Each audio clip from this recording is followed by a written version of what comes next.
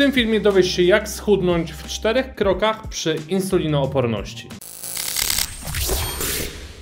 Krok pierwszy. Prawda może zaboleć. Zacznijmy od tego, że żadne z dostępnych badań nie wskazuje na to, żeby insulinooporność w jakiś sposób spowalniała utratę tkanki tłuszczowej. Oczywiście mówimy tu o przypadku, w którym dieta jest kontrolowana tak samo jak i aktywność. Jednakże insulinooporność może utrudniać odchudzanie w momencie, gdy dieta nie jest dobrze zbilansowana. Po pierwsze mamy tutaj większą senność po posiłku, co wpływa na punkt drugi, czyli mniejszą spontaniczną aktywność w ciągu dnia. Po prostu jeżeli jesteśmy bardziej ospali, no to mamy mniej energii energii, żeby się ruszać. Ale insulinooporność także dotyka naszego ośrodka łaknienia i tu jest największy tak naprawdę problem, z którym zmagają się osoby z insulinoopornością, czy też potem z cukrzycą typu drugiego.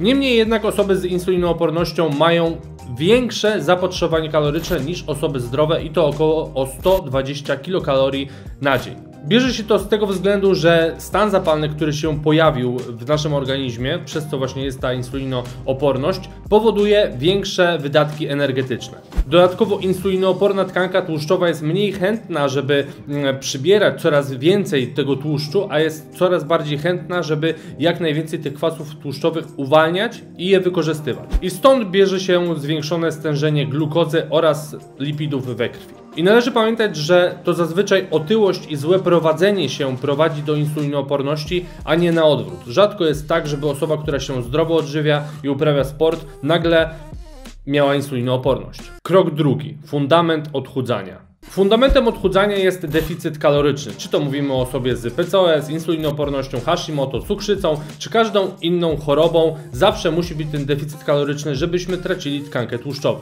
Jeżeli nie wiesz ile jeść, żeby schudnąć, to zostań do końca tego filmu. Deficyt kaloryczny i utrata tkanki tłuszczowej jest jednocześnie najlepszym sposobem, żeby jak najszybciej poprawić swoje wyniki i jak najszybciej wyjść z tej insulinooporności. Można powiedzieć, że jest to praktycznie niezbędne do tego, zwłaszcza, że w większości przypadków mamy tu osoby z nadwagą czy otyłością. I jak już tu jesteśmy przy tych kaloriach, to nie, nie musimy ograniczać węglowodanów. Żadne z dostępnych badań nie wskazuje na większą skuteczność diety nisko czy wysoko węglowodanowej. I tu przechodzimy do kroku trzeciego. Jakość ma znaczenie. Tak jak powiedziałem, nie musimy ograniczać węglowodanów w naszej diecie, jednakże ich jakość, to z czego pochodzą te węglowodany, już ma kolosalne znaczenie, zwłaszcza u osób, które borykają się z, takiego, z takimi problemami. Jak pokazuje badanie Tidemana i współpracowników, u osób z insulinoopornością insulina nie powoduje zmniejszenia łaknienia tak jak u osób zdrowych. Czyli nie ma czegoś takiego, że po wzroście insuliny nagle nie mamy ochoty jeść, nie mamy jakichś zachcianek, tylko Tutaj to jest praktycznie obojętne. Dlatego też właśnie istotnym jest to, żeby te węglowodany niosły ze sobą jak najwyższą wartość energetyczną, e, żeby dostarczały odpowiednią ilość witamin, minerałów, a także i przede wszystkim błonnika pokarmowego. Jak zaleca Polskie Towarzystwo Diabetologiczne, należy spożywać od 15 do nawet 25 gramów błonnika na każde 1000 jedzonych kalorii, czyli w momencie, gdy ktoś spożywa tych kalorii około 2000, powinien błonnika jeść od 30 do 50 gramów. Jest to prawie dwa razy więcej niż zaleca zaleca się u zdrowych osób, ale właśnie ze względu chociażby na to, że ten błonnik będzie nam pomagał regulować poziom cukru we krwi. W dodatku bardzo ważnym jest to, żeby te węglowodany były w miarę rozłożone równo w ciągu dnia, także tutaj e, takie manewrowanie tym w stylu e, śniadania białkowo-tłuszczowe, a potem nagle na kolację multum węglowodanów nie sprawdzą się.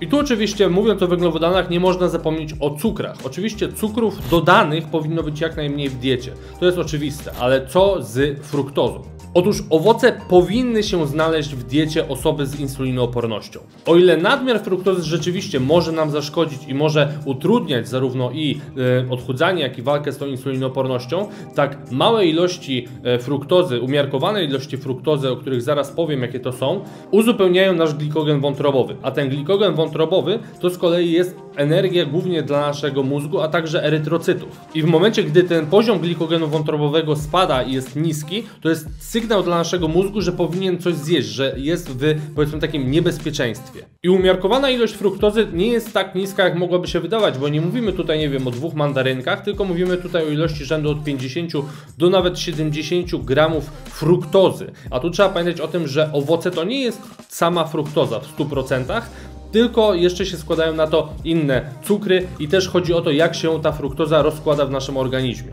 Czyli może być to na przykład 1 kg jabłek, 2 kg pomarańczy, 2,5 kg truskawek czy kilogram bananów. Czyli jak widzicie jest tego naprawdę sporo. Sporo tych owoców można jeść w ciągu dnia i powinno, dlatego że owoce są idealnym nośnikiem witamin, minerałów, a także właśnie przede wszystkim tego błonnika, o którym wspomniałem. I tu zgrabnie przechodzimy do punktu numer 4. Róż dupę. Prócz schudnięcia jednym z najlepszych sposobów na poprawę wrażliwości insulinowej jest oczywiście trening. I tu zarówno mówimy o treningu oporowym, jak i treningu cardio, bo o ile trening oporowy sprawi, że nasze komórki mięśniowe będą wrażliwsze na insulinę, przez co ta insulina będzie miała się gdzie dostać i tą glukozę będziemy mogli gospodarować, to z kolei trening cardio, prócz oczywiście prozdrowotnych efektów, też daje nam to, że zwiększa nasze zapotrzebowanie. Po prostu więcej tych kalorii spalamy w ciągu dnia, więc więcej ich potrzebujemy, więc też łatwiej jest być zarówno w tym deficycie kalorycznym, ale też, żeby właśnie nie przejadać nadmiaru tych kalorii. I w momencie, gdy mamy osobę, która jest,